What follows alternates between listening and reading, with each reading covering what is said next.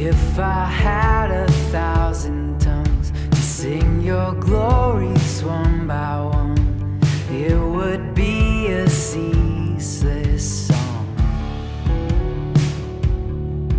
There is a depth of riches here that saints have mined throughout the years. Oh, my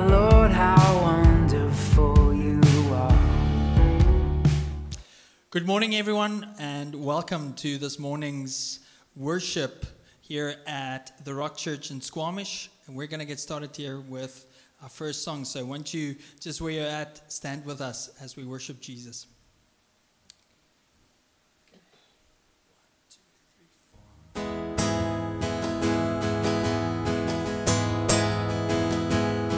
my one comfort, both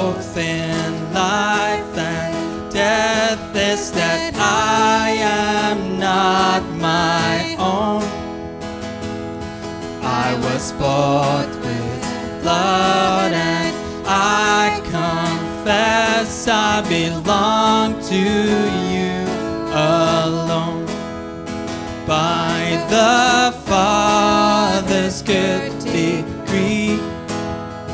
Jesus, you've delivered me by your Spirit, follow you.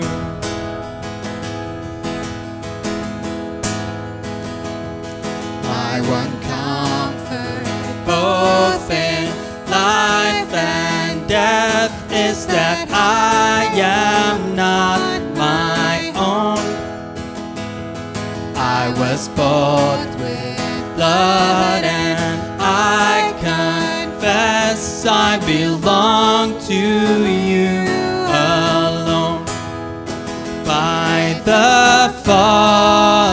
good decree.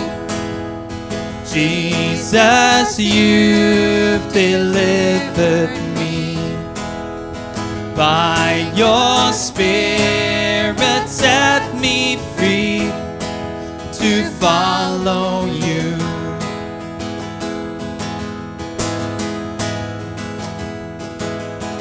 Jesus, you have taken hold of me.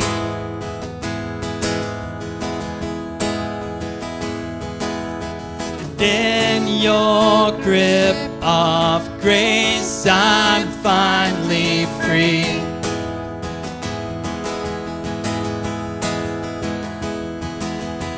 Jesus, you have taken hold of me.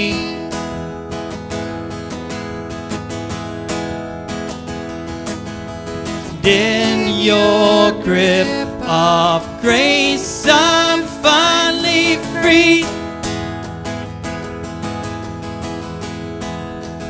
By the Father's good decree.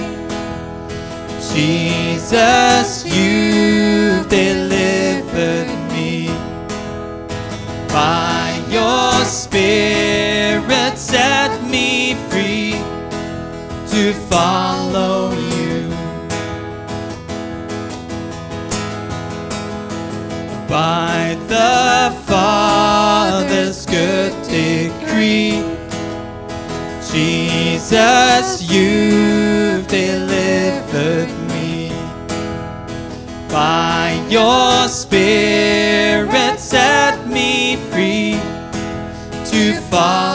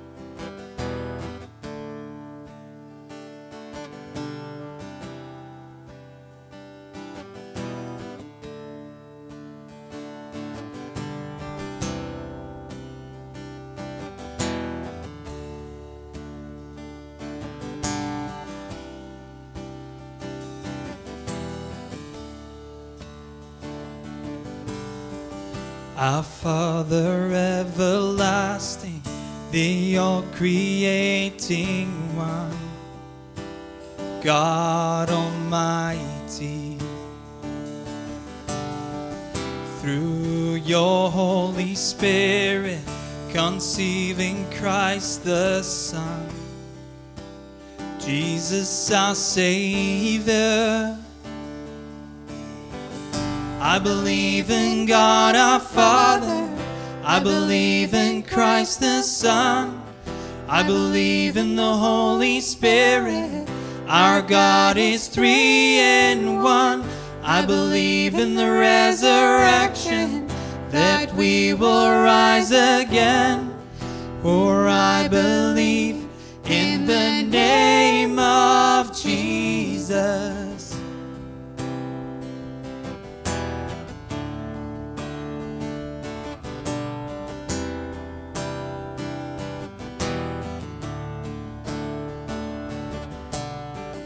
Our judge and our defender suffered and crucified.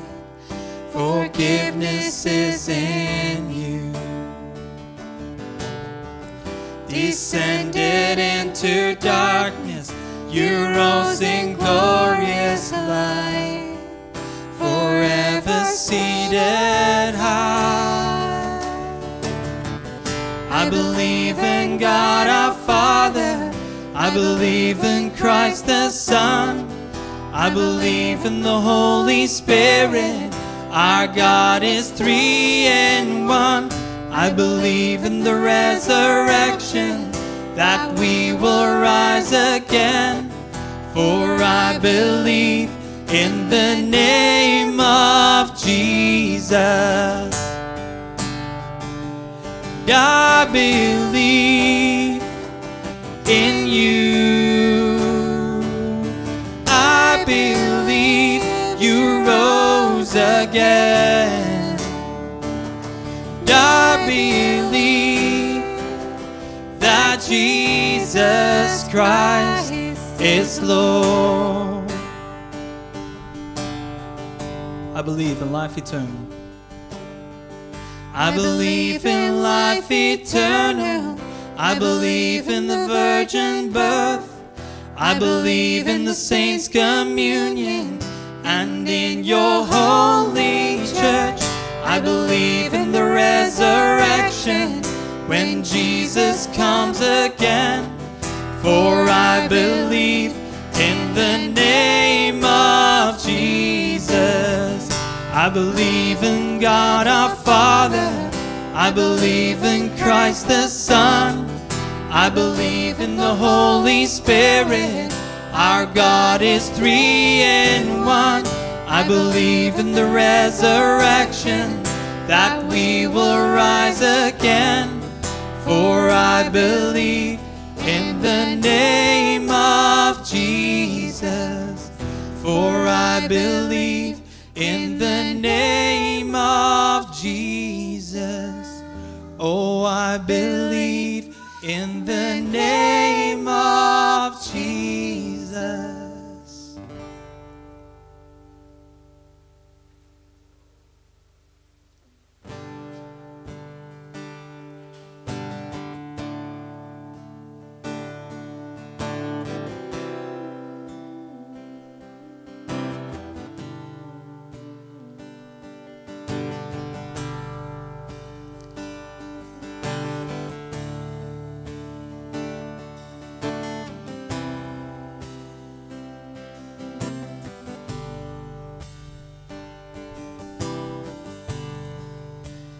Lord is gracious and compassionate,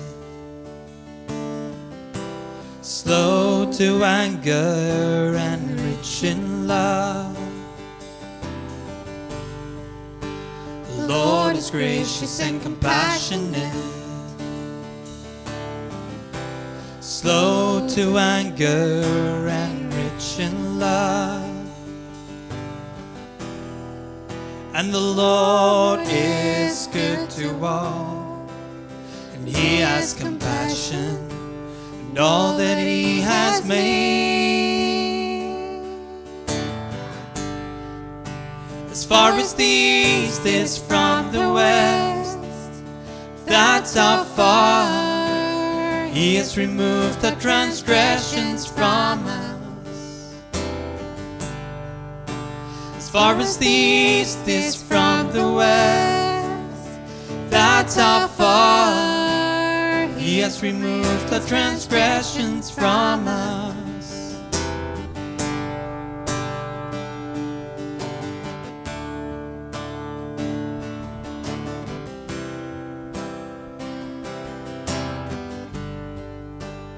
Lord is gracious. Lord is gracious and compassionate, slow to anger and rich in love. The Lord is gracious and compassionate, slow to anger and rich in love. And the Lord is good to all. And He has compassion on all that He has made.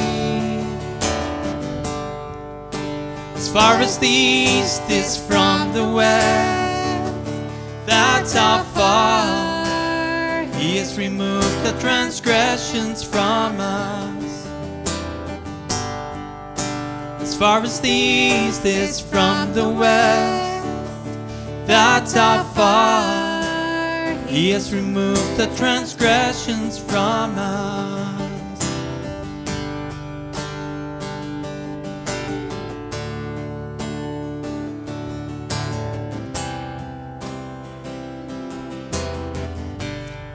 Sing praise the Lord.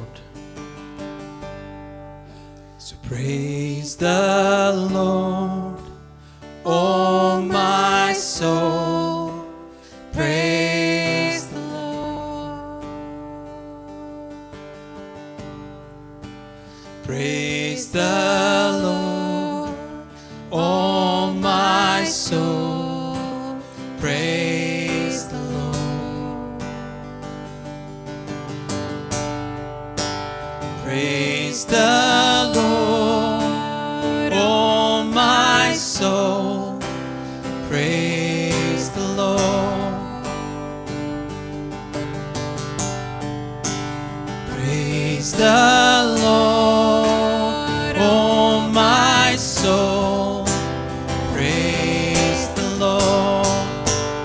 Praise the Lord.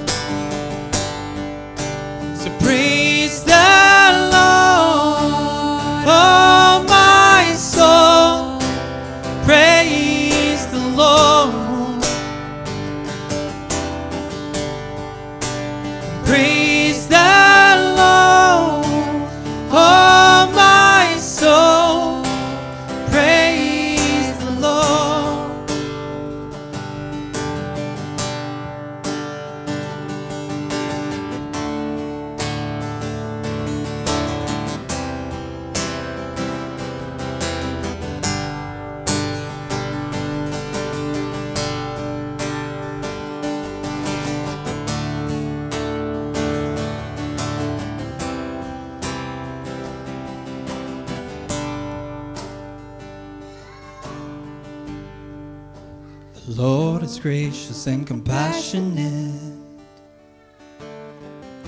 slow to anger and rich in love. The Lord is gracious and compassionate, slow to anger and rich in love. Lord, thank you that we can just sing that out this morning. Lord, that we can come and just declare that truth that you are gracious, you are compassionate. And Lord, we thank you for that. We thank you that we can worship you in spirit and in truth. And uh, that's what we want to do with all of our hearts. And Lord, with all of our strength and, and with all of our minds. So, uh, Lord, be blessed today. Uh, we pray your blessing over this morning's message by Glenn. And uh, yeah, we ask Holy Spirit, come and empower him and come and illuminate to us, Lord, your truth. In Jesus' name, amen.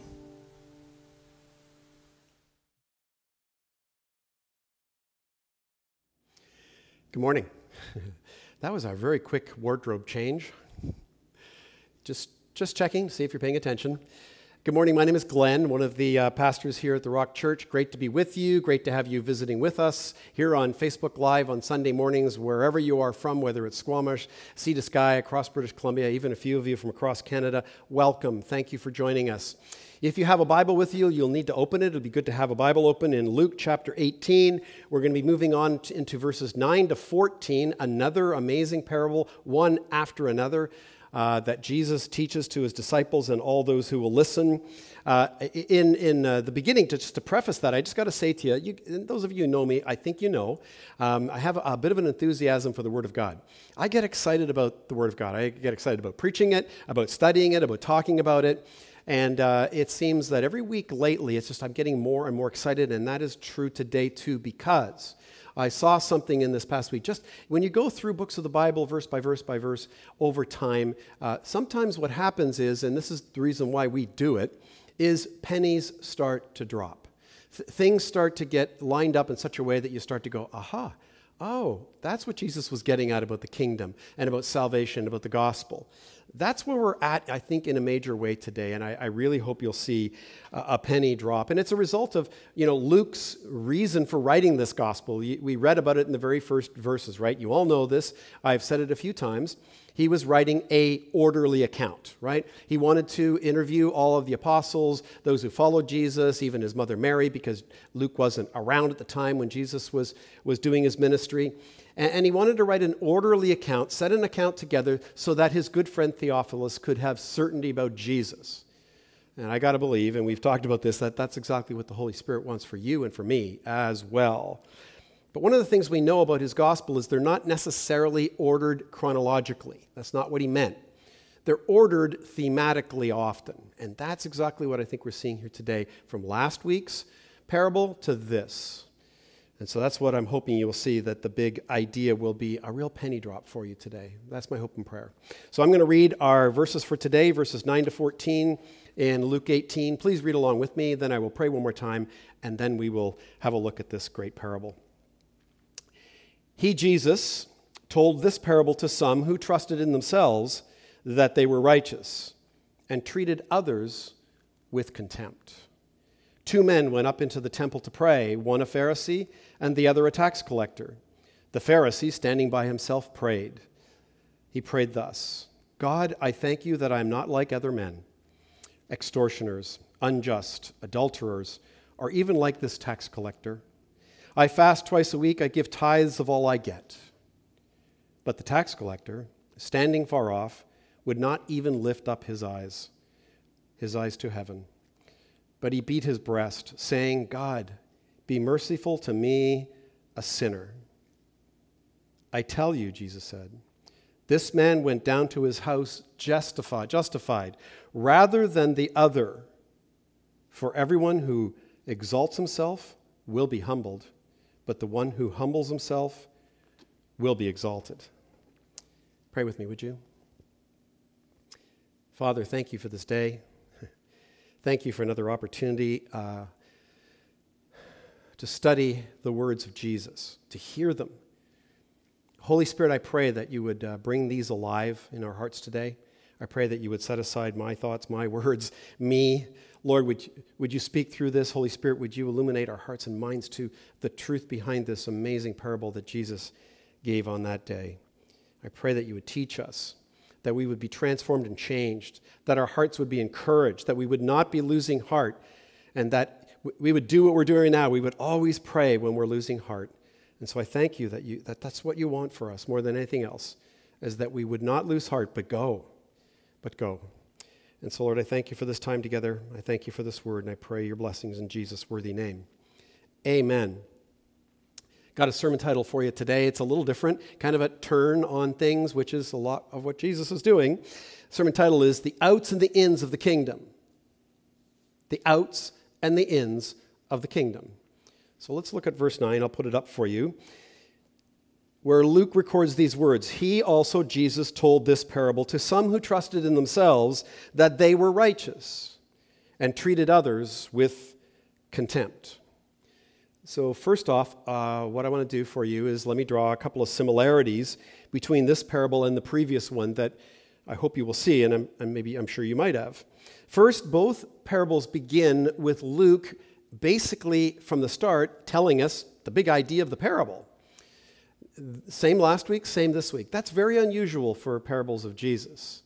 You will know the pattern that we've been through already, and you'll see it again as we visit a few more in the days and weeks ahead. That Jesus usually tells the parable and it unfolds, and then boom, there's the big idea. It shows up later in the parable. Well, with these, they start off this way, Luke giving us the big idea, and then what we see unpacking in these are the lessons that we're to learn from it. So that's the first. The second is that this parable is also, again, about contrasts, right? Contrasting characters, contrasting uh, principles, and maybe even a few contrasting lessons.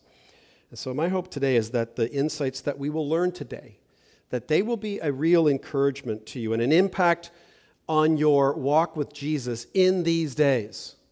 In these days.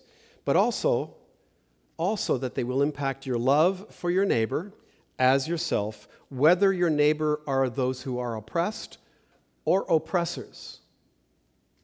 Wait, what? D- did you hear me right? Yes, yes, you did. So the big idea then is right here, and it is this.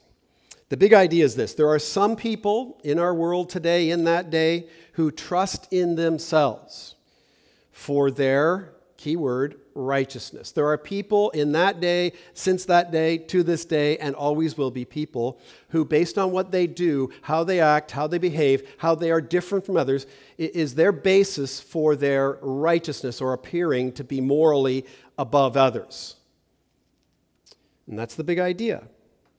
And so this parable then is about this contrast, besides the characters it's the, the contrast between the wrong way that some people go about achieving what they think is righteousness or what they think makes them righteous and the right and only way to receive righteousness, righteousness that none of us have, into the kingdom of God, the only way into the kingdom of God that Jesus will show us today. So there's something we think I think we need to learn today also about questions. And I want to tell you a quick little story. I, I heard a great story actually last week about Ravi Zacharias, uh, the Christian apologist, evangelist, and preacher who sadly passed away uh, a little over a week ago. Uh, one of the things that he was best known for, and I think frankly loved for, was how he handled anyone who asked him questions. Whether they were an atheist, a skeptic, it didn't matter. From another religion, he, he just had this disarming way, respectful, always thoughtful way of answering questions, and often his answers were really quite profound. Well, during this interview that I saw him part of last week, he was asked where he got, like, where did this non confrontational, uh, disarming style come from? Like, was it from your mom or whatever, right? And he was really quick to answer. Ravi was really quick. He basically responded, first of all, by saying, The Lord showed him two very profound ideas early in his ministry, and they'd stuck with him from that day forward. First, he just observed Jesus. Right? He, he observed Jesus being asked questions, and then Jesus had a pattern. He would be asked a question, then Jesus would ask the questioner a question. Answering a, a question with a question apparently is a bad thing, not, not according to Jesus, right? You'll remember at one point, uh, someone comes up to him, I believe it is also a, a ruler or a Pharisee, comes up to Jesus and says, Good teacher, how does someone, how do I inherit eternal life? Do you remember what Jesus said? Well, he didn't say, well, you do this. He didn't say that. He asked this question Why do you call me good? It, it was just brilliant. And so Ravi noticed that, and Jesus does that all the time, and quite frankly, for good reason. The other thing that Ravi noticed was that there were a very high percentage of times when Jesus, in his teachings and his parables in particular, where what he was doing was answering questions that hadn't necessarily been asked publicly, but he knew there was a question. He knew there was a question. We've already read that a couple times in the Gospel of Luke. He knew their hearts. He knew what they were thinking, and so he knew that in their hearts they were having questioning spirits. And so he would answer their questions in his teachings. Secondly, Ravi also noted this uh, very important insight. One day at a very large conference in uh, Birmingham, Alabama, I believe, uh, he was uh, uh, answering questions. At the end of every one of his talks, he would always answer questions, and that was really, for most people, the, the highlight of his talks, is, and again, which highlights how he would answer. But a couple stood up, a young couple in their early 30s, I believe, stood up and asked him one of the most frequently asked questions of any apologist, any pastor for that matter, uh, any Christian by a skeptic or by an atheist is this question Why does a good and loving God allow so much pain and suffering in the world? I mean, that's a standard. It's a good question, right? Ravi was about to, he said in this interview, he was about to give his questioning, the questioner type of response, philosophical response that he would normally go to, but the Lord made him pause. And he all of a sudden looked and he saw behind the couple in a chair right behind them a small infant who was severely, severely deformed. And it was there that he learned an important lesson. And he said this lesson changed his heart towards any questioner from that point on. And I'm going to quote him. He said at this point Behind every questioner is a question. And in this case, their question is not just a philosophical one, it's a felt need. So, both in terms of the ex- existential reality and in, term of the, in terms of the assumptions, great Ravi language, it's important, he said, to question the questioner. Why? To get to the heart. To get to the heart. So now with Ravi, but more importantly with Jesus, I want to make sure that we see this in today's parable. Jesus is answering a very important question.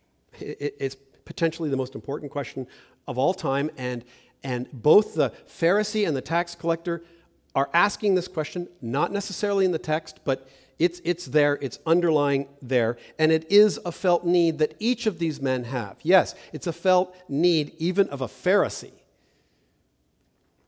And the question is based on one of these two ideas it's either this How am I saved? How is someone made righteous? And, or how do I become righteous? What do I have to do to become righteous, to be approved and be accepted by others or by God? What do I have to do? And so that's a question that Jesus, I would suggest, is pretty much the expert on, don't you think? And, and, and that's, so that is underlying behind what's going on here today, I suggest to you. He loves both. This is the other thing that I want you to see in this. He loves both of these people, both of these questioners. That's why he's taking his time to deal with them both. And so I think we need to be careful of how we approach that. So it is in this wonderful parable that we will learn that there is, yes, a wrong way, a way that will not lead to ultimate salvation and eternal life with God, and a right way, frankly, the only way to salvation. Let's let Jesus teach us the parable. Verse 10 Two men went up into the temple to pray, one a Pharisee and the other a tax collector. Big contrast.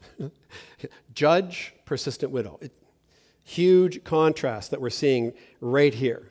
So, listen, at the first, what I'm going to do is I'm going to go out on a huge limb here uh, maybe not so much. And I'm going to suggest that as soon as we read who the two main characters are in this parable, right, uh, that you immediately have a picture in your mind. You have a picture in your mind of the identities, the characteristics, and positions of the two men. And I'm going to suggest this as well that maybe, just maybe, you might be a little bit like me. You might have a favorite, or you might have one that you would more identify with. And I, I, I got to believe it's not the Pharisee. Let's be careful about that. Let's be careful. We all know, of course, that the Pharisees are the bad guys, right? They're always depicted that way and made out to be the bad guys. They're the hypocrites. Jesus himself described them as the oppressors of the Jewish people. You're putting burdens on my people. You're oppressing them with all your additional laws. And you hypocrites, he called them, right? I mean, he did that often. Back at the beginning of chapter 12, when he turns to his disciples to really start getting them ready for the cross and the mission that's going to come, what does he start off with? Right there at the beginning of chapter 12, he starts off with Beware of the leaven of the Pharisees, which is hypocrisy. But listen, he didn't say, Don't like the Pharisees. His point was, Don't like what they do, don't become like what they do. He didn't say, don't like them. He just wanted to make sure the disciples understood that their behavior, their hypocrisy, is based on behavior, a way of doing things, and, and that idea can spread and it can just ruin the ministry and ruin the gospel. So don't be like them, but not don't like them. There's a big difference. He goes on in verses 11 and 12. The Pharisee, standing by himself, prayed thus God, I thank you that I am not like other men, extortioners, unjust, adulterers, or even like this tax collector. I fast twice a week. I give tithes of all that I get. Hmm. So let's picture the scene here. Jesus is speaking to his disciples, right? The Pharisees are lingering around. They're always there. That's why Jesus is talking to them, because they're there, right? And, and he's telling a story about two contrasting characters, and the first character up is the Pharisees, so you know he's got their attention, right? And, and, and, and you also know that before we even begin here, they're looking at the scenario going, well, we're going to come out looking pretty good here. Wrong. The first interesting detail is where this man is standing. Do you see that? Look at the text, where this man is standing. He's by himself. That's an important distinction. And I, I look at that and I ask myself, why? Okay, Luke's recording it, but these were the words that Jesus said and others told him. This is what he said. Why do you think Jesus would put forward that little detail that he's standing? Why didn't you just say he's there? No, he's standing by himself. Well, for one reason, I think, because one word comes to mind. It's the word separation, right? He, he's separating himself from the other man for sure, and also, I'm going to suggest to you, everyone else it would appear, because he's by himself. He's not over with his brothers, with the other dudes, the other Pharisees. No, he's by himself. And so, with this kind of man, you and I know what that looks like, right? We know the pattern, we know what they look like. Based on their outward actions, their words, their deeds, they are walking around all the time presenting themselves as what? Better, above, elevated in the church and in the culture. So let's think about that for a moment before we move on, being careful not to think that this kind of attitude is exclusive to religious Pharisees, Jewish Pharisees in that day. It can also be, and it is, a metaphor for two different types of people that have been part of culture and part of the world forever. That's what I think Jesus wants to show us. I think we do that in our day today as well. I think it's very easy to see. We see injustice and oppression in our world all the time, and it's the result of one group of people who think they're right, they've got it right, and what do they do? They hold other people in contempt, they oppress them. It's another way of looking at the word contempt. You look down at them. You're above and beyond. They believe that they're better, whether because of the color of their skin, their ethnicity, their religion, their political party. Oh, yes, right? And, or you name it. So now listen, friends, let's be careful. Let's be really careful. It does not take long for the pendulum to swing, does it? I've been around longer than some of you. And I've seen that happen. I've, I've seen it be clear that there is one group that's oppressed by these oppressors, and, and just over time, it, I've seen it happen. The pendulum swings.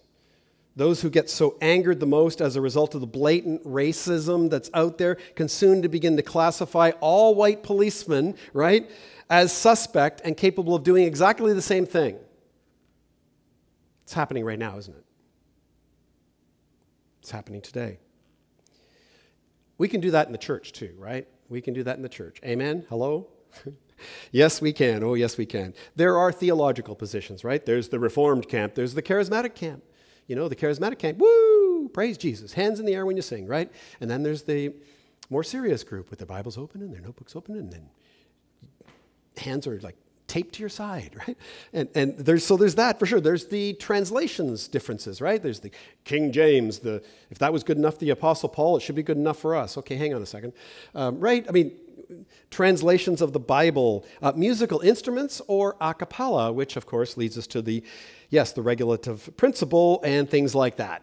See, what happens is, is that certain groups of people, whether denominations or practices, what we do, we end up getting to a position where we believe, God, you must love us more. You must be blessing us more. You will bless us more because, look, we're doing things more rightly than they are.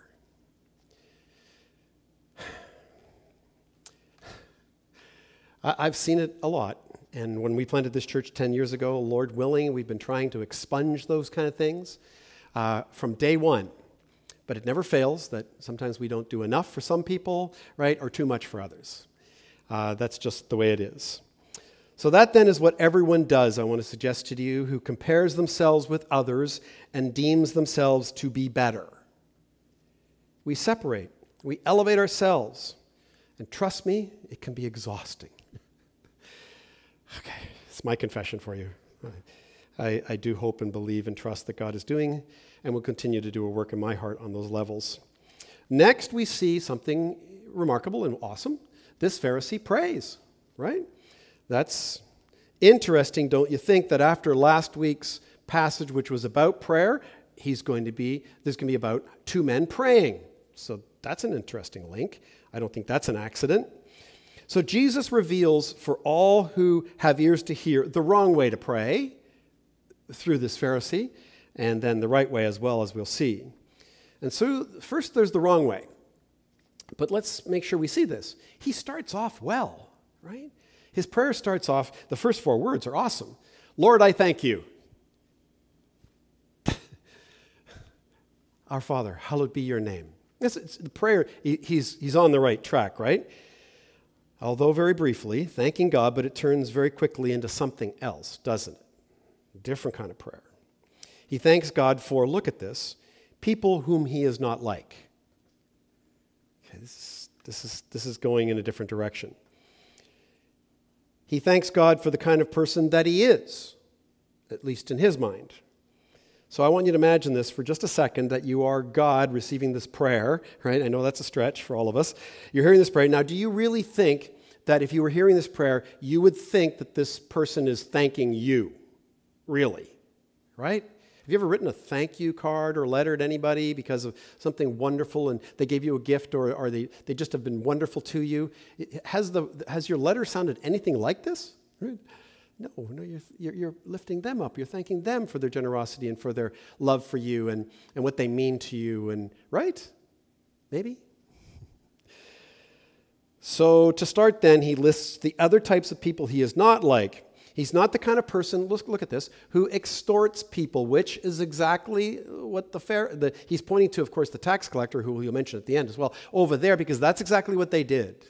They were extortionists. Their job was to collect taxes for the evil Romans of their own people, the Jewish people, and the way they made their profit was to add a markup.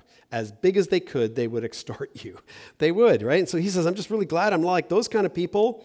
And so, of course, he's comparing himself with the tax collector who was doing exactly that. He says, I don't do things like that. In the same way, he's not unjust. He's claiming not to be unjust, nor is he unfaithful in his marriage, so he's, he's never committed adultery. And he's certainly not like this tax collector. That's what he winds up with again. So that's what he's not. And, and do you know what?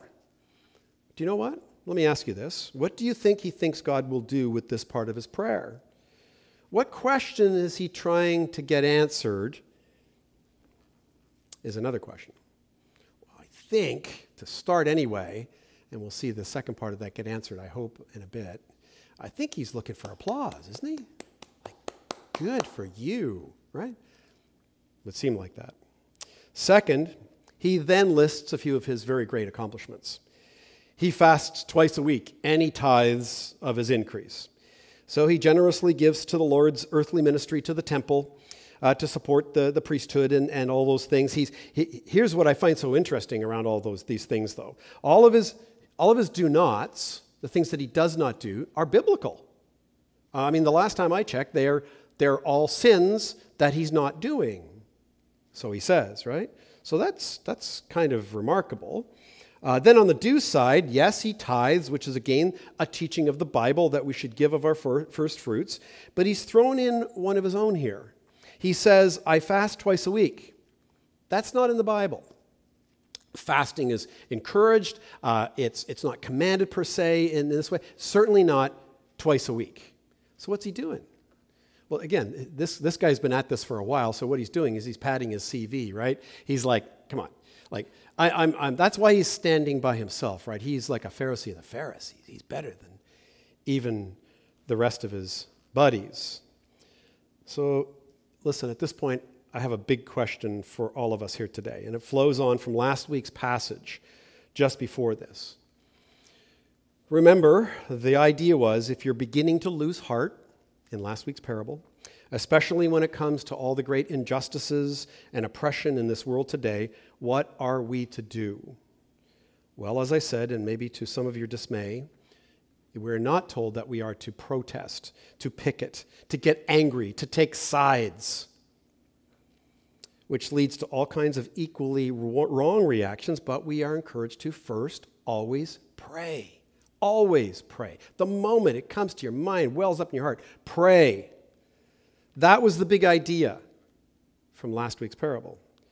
Now, here at this point, what is this man not thankful for, but should be if, big if, his actions are actually evidence of his righteousness,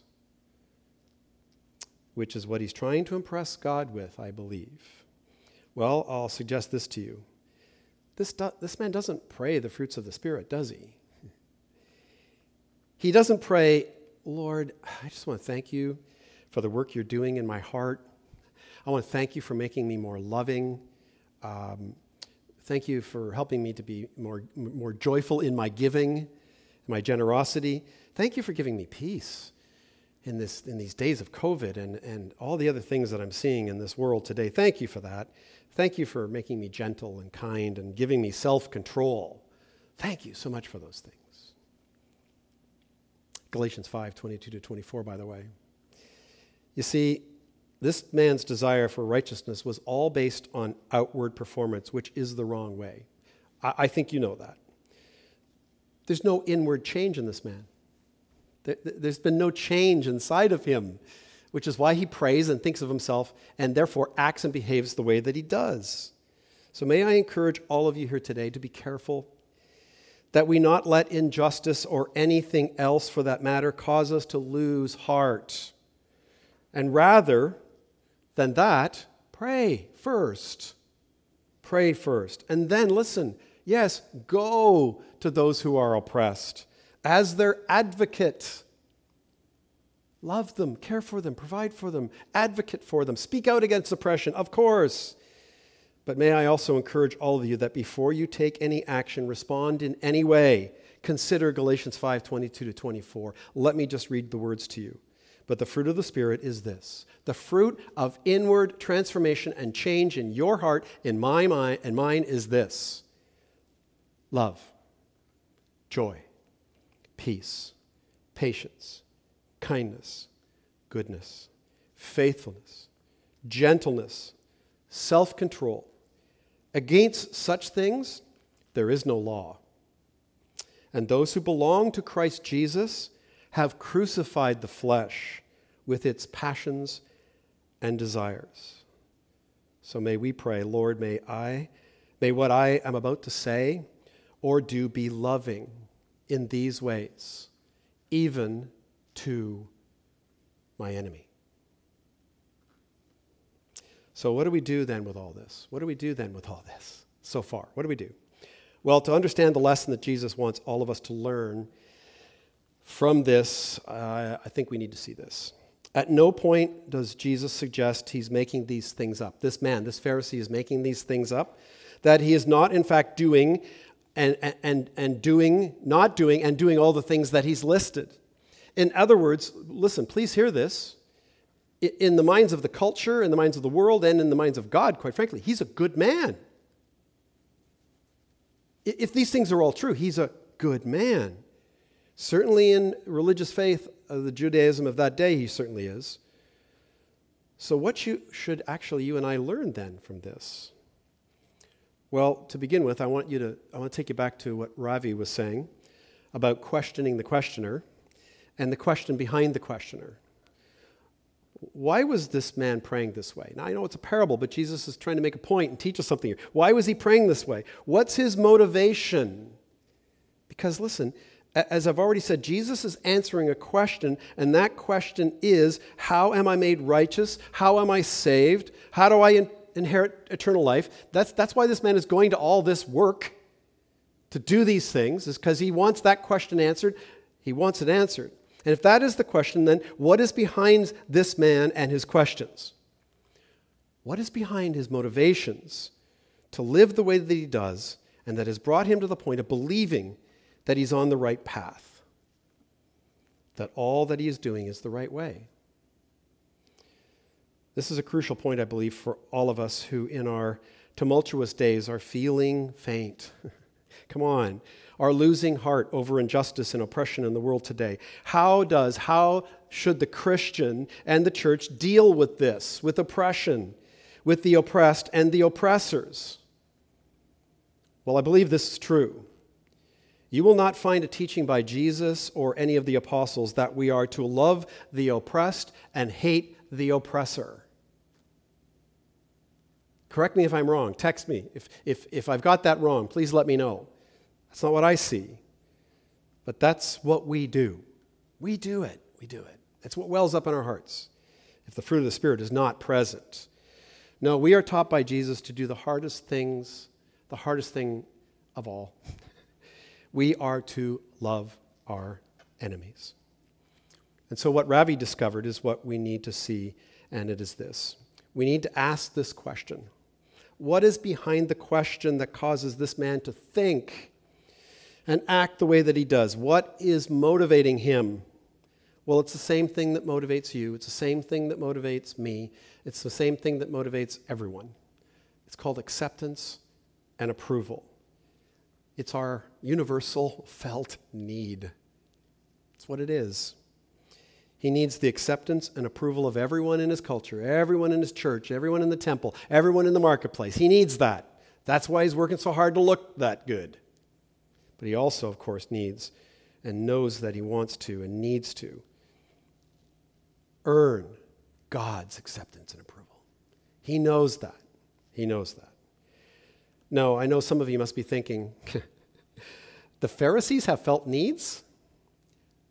Well, I hope you can see that so far from what we've seen. You want me to show them kindness and mercy? They're the oppressors of the people of Israel. Glenn, you've already said that. Pastor, you've shown us that. With all their rules and regulations and their hypocrisy. Jesus would say, Yes. That's why he's preaching this to them. He's not trying to condemn them, he's trying to soften their hearts so that they would change inwardly and turn to the right way. So Jesus tells us why this is going on.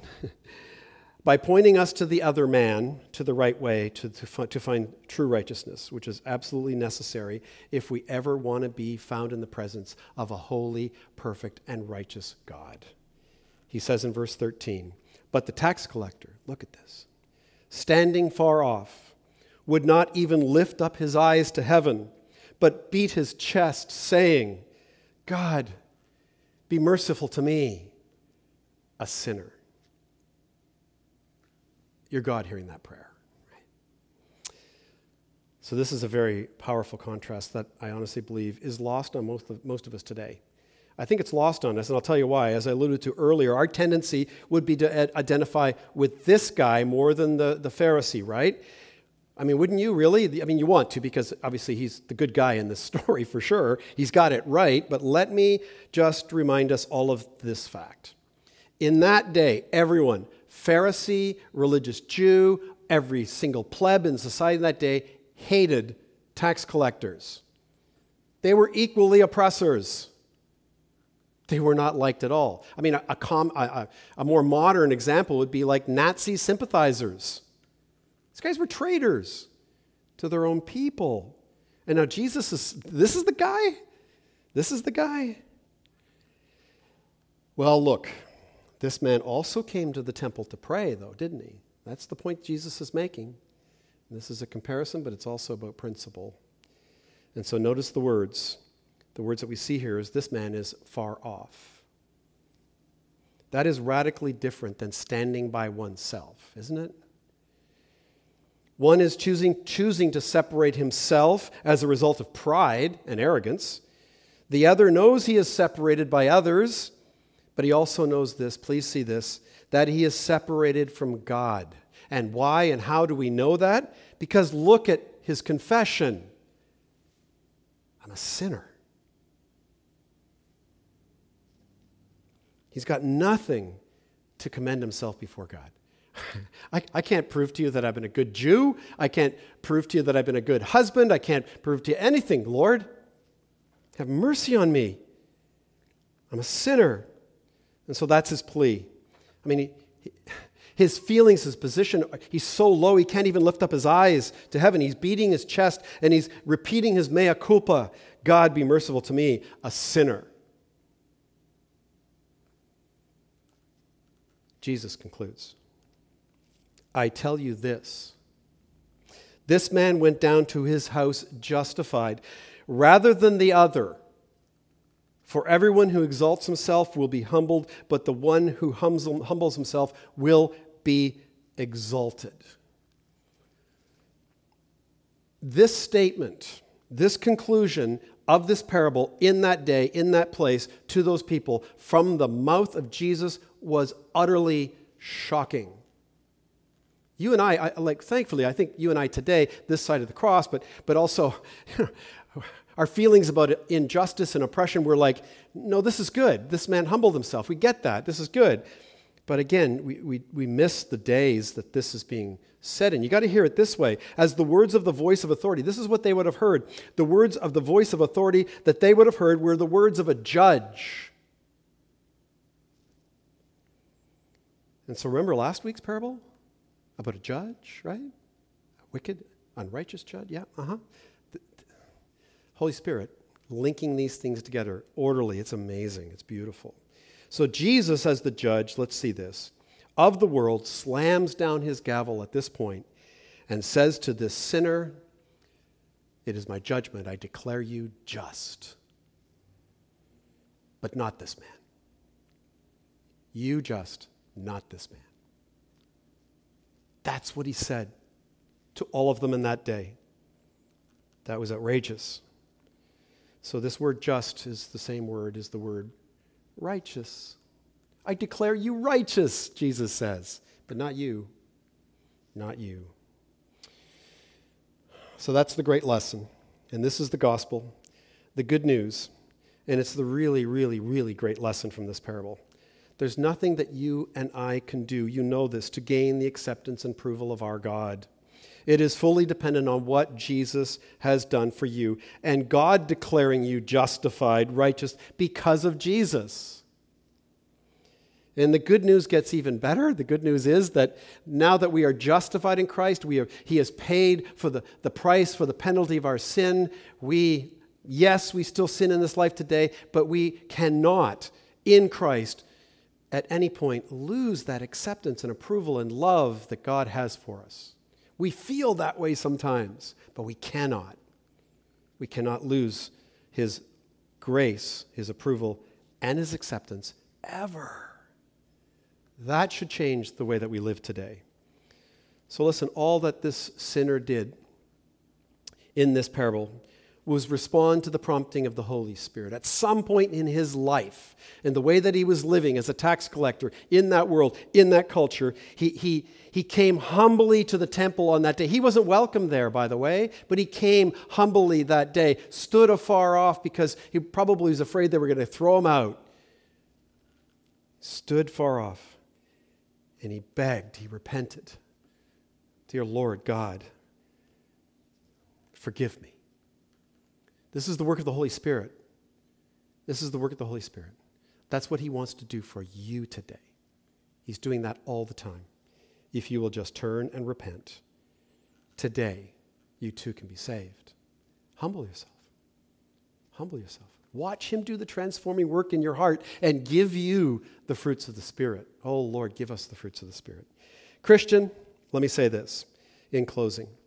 Knowing what Jesus has done for you, how he has forgiven you, declared you justified based on no effort, nothing that you've done, quite the contrary, will you now do this? Will we now do this together, church? Will we always pray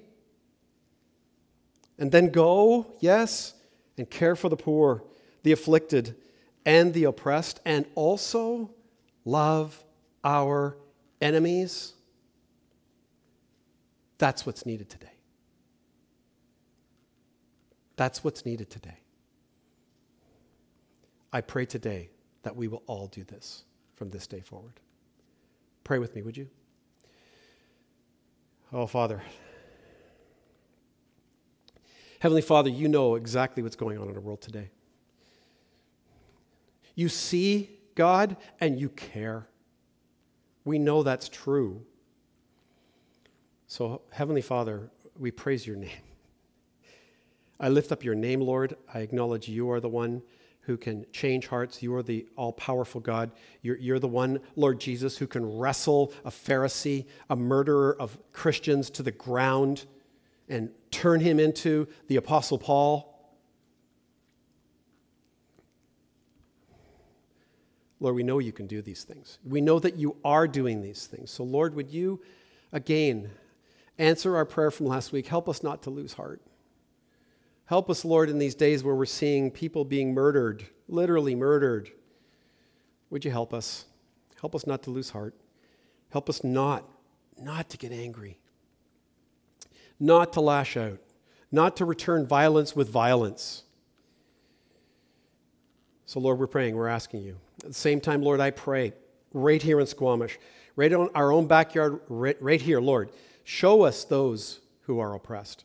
Show us those who we can go and walk with, who we can advocate with. Show us better ways, Lord, how we can speak out, speak the gospel of the kingdom into this world of oppression, oppression and oppressors, and at all times, Lord, do that in a loving way.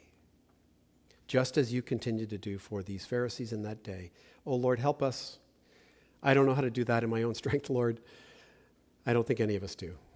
So would you help us? I thank you so much for what you're going to do. And I pray all of these things in Jesus' worthy name. Amen.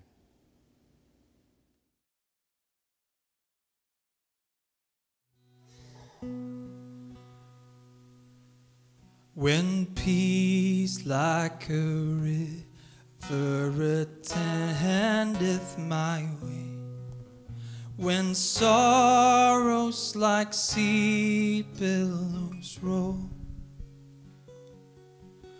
Whatever, my Lord, thou hast taught me to say, it is well, it is well with my soul. It is well. My soul. With my soul. It is well. It is well with my soul.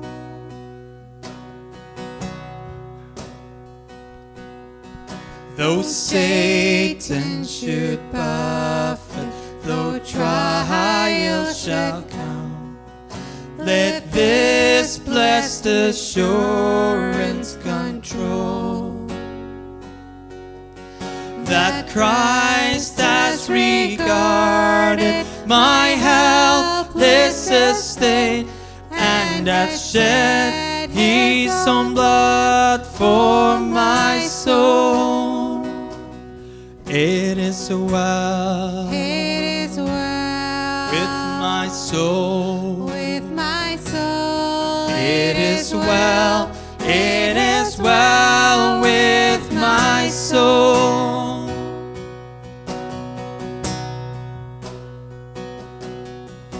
My sin, know the bliss of this glorious thought. My sin, not in part, but the whole is nailed to the cross, and I bear it no more. Praise the Lord,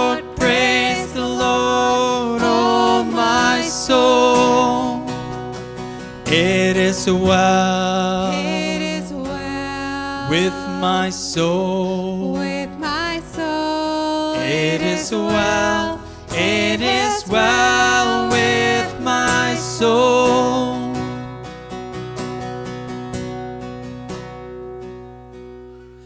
And Lord, haste the day when my faith shall be sight. The clouds be rolled back as a scroll. The drum shall resound, and the Lord shall descend. Even so, it is well with my soul. It is well It is well with my soul. Is well, it is well with my soul. It is well It is well with my soul. with my soul. It is well, it is well